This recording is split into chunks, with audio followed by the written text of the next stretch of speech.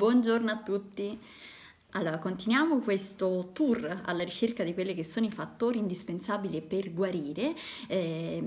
stiamo prendendo, sto prendendo in considerazione nei miei video eh, dei casi di remissione da mm, malattie considerate incurabili e quindi di malati terminali, ma questo perché? Perché de- mm, devono essere e sono degli esempi di quanto è possibile rivoluzionare la nostra vita se solamente lo vogliamo e se solamente ci impegniamo e eh, abbiamo parlato dei nove fattori che, ci porta, che hanno portato queste persone alla guarigione e nello scorso video abbiamo parlato di quanto è importante giocare un ruolo proattivo, prendere il controllo della propria salute e giocare un ruolo proattivo che vuol dire assumersi la responsabilità della propria vita. Oltre a questo è indispensabile avere la volontà di cambiare. Allora, se la mente cambia, anche il corpo cambia e se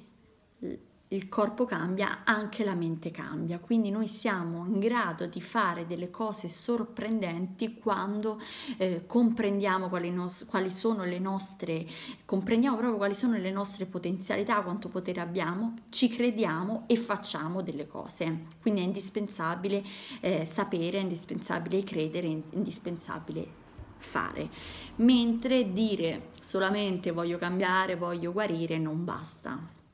Per cambiare abbiamo, è necessario avviare un processo interno e iniziare a chiedersi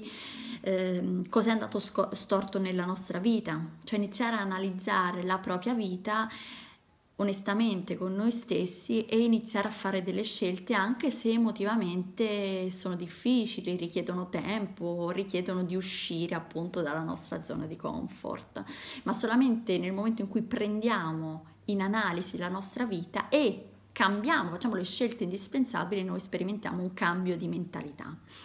Quindi per eh, cambiare abbiamo bisogno sicuramente di un forte desiderio, di una fede nelle nostre capacità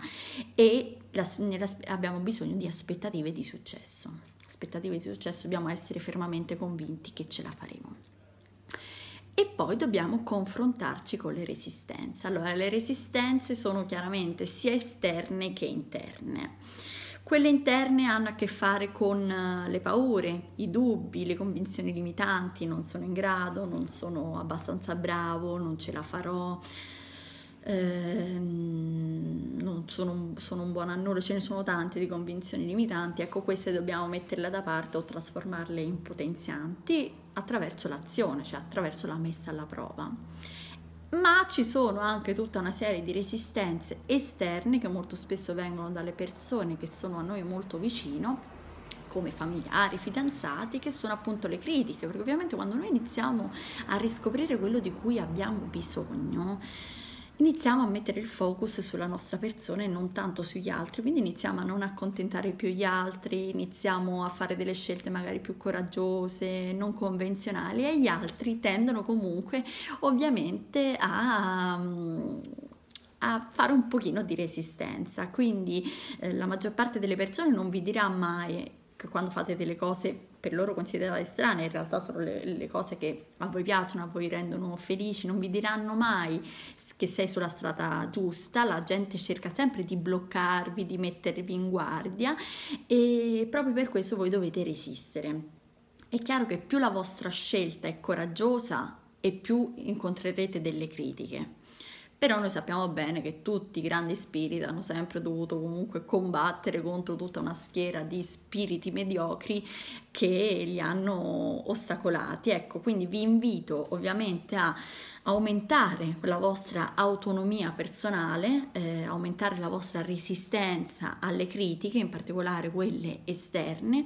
e iniziare un pochino a allenarvi a fare proprio come vi pare. Quindi questo è il, mio, è il mio consiglio, vi invito ad avere sempre più aspettative su voi stessi e pochissime dagli altri e a non pensare, a non sperare mai che gli altri vi dicano che siete sulla strada, sulla giusta strada perché saranno veramente pochi quello che ve lo diranno quando fate delle cose eh, coraggiose. Un saluto.